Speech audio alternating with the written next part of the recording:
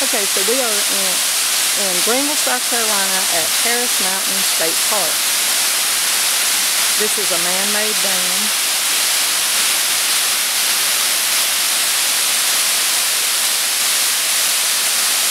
Very easy hike to go to